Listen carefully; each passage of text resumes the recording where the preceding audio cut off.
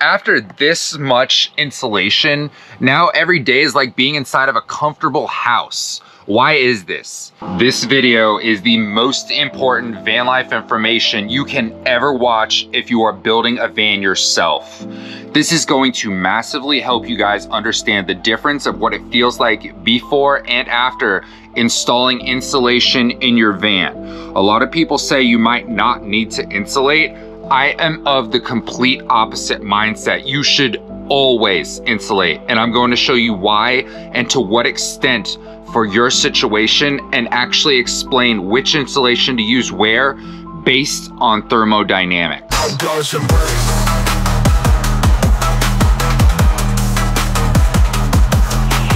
Insulation is the most important thing you can do to keep yourself comfortable in all types of weather and seasons. I repeat, it's the most important part of a van build. My first van started with bare metal walls and a bed inside. Being inside on an 80 degree and very sunny day, the van becomes an oven and you might actually feel like you are dying. Sleeping inside of this, you feel the sweat beating down your back and making your bed and pillow wet all night long. And every morning you swear you are going to find some new solution that you just can't think of. Being inside of this on a 30 degree day, the van turns into a drafty freezer box and again you feel like you could die. Sleeping overnight your skin constantly touches a part of the mattress that is literally freezing. When you adjust your body in different sleep positions, you are constantly waking up. But with enough comforters or a good sleeping bag, this can at least be bearable. I put in about an inch of XPS board on the walls plus two to three inches on the ceiling in my first van. This made the 80 degree sunny days bearable due to blocking the radiant heat of the sun heated metal. Get under the roof of the fan and then take your clothes off. And you can kind of take the heat being inside in a 90 degree weather. At night, you are still sweating and making a mess of your bed. Now in 30 degree weather, your breath and body heat actually help to warm up the place now because the insulation is trapping your heat in.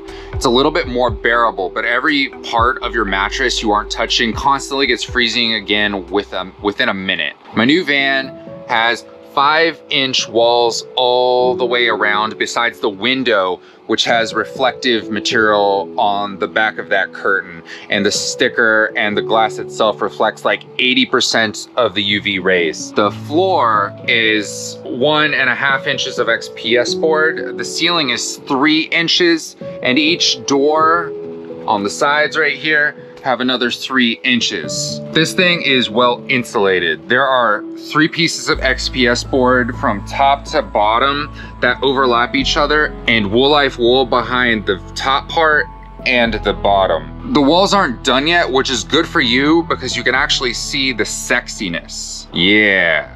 My van's butt naked. Cover your eyes.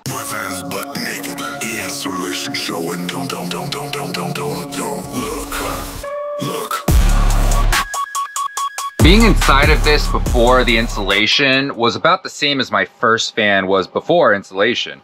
But after this much insulation, now every day is like being inside of a comfortable house. Why is this? Insulation works by basically slowing down the transfer of heat from the outside when it's scorching hot it just won't get as hot as quickly and it also won't feel as hot at the worst times because it's blocking the metal from being an oven. Look, I'm going to get way more scientific here in a second, but I want to lay it out in a simple layman's terms first. Some people say that insulation can be bad because it can also trap the heat of the hot days inside overnight while you sleep. It's absolutely true. But all you need to do is open your doors for 30 seconds to let all the hot air out and you're back with fresh air inside. Don't listen to these people. Please insulate. It's the most important thing you can do to be comfortable and not create a video or post in the future saying, oh, van life was too hard. I had to quit. Van life can be just as comfortable as a house and literally all my friends who have been in my van agree. This thing is comfortable as fuck. With the roof fan, I don't sweat overnight. even when it's like over 80 degrees. And just think, having girls over that actually prefer to sleep in the van. I have a full video coming out about my diesel heater soon, but understand this, before installation, my heater could run a total of 21 days without refueling on a full tank.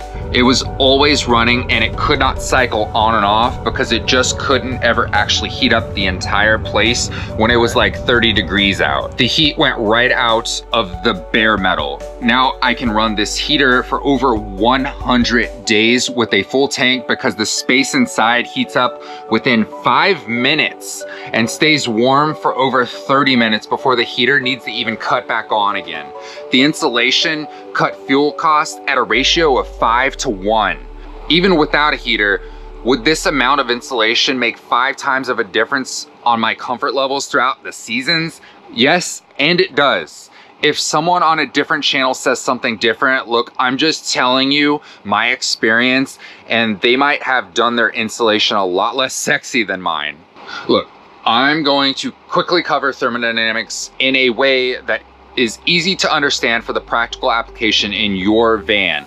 Heat is transferred in three different ways, and to keep your van warm or cool in the summer, you have to take each way into account while installing your insulation. The first is conduction. If two objects are touching each other and one is hot and the other is cold, the heat will move into the colder object and the warmer object will lose some of its heat in that transfer. Take this wood for example. It has a nail in it that is touching the van metal behind the wall. It's what we call a thermal bridge because the nail is warm from the heat inside and is moving the heat into the van metal, which is colder given it's freezing outside. It's a weak point in the overall insulation. It's a spot where the heat is escaping. Can't really always be helped, but you know, you gotta build your van. The second way heat transfers is convection. It's like when the heat moves through the air, creating drafts. We know heat rises but warm air also wants to move into colder areas to equalize temperatures. While the warm air is moving towards the cold air, this creates motion in the air which causes wind or drafts. You can fix the issue with this in your van by making sure every little crevice is blocked with insulation, especially around the doors. The third way heat transfers is radiation. Objects that are hot will radiate waves out from them through space.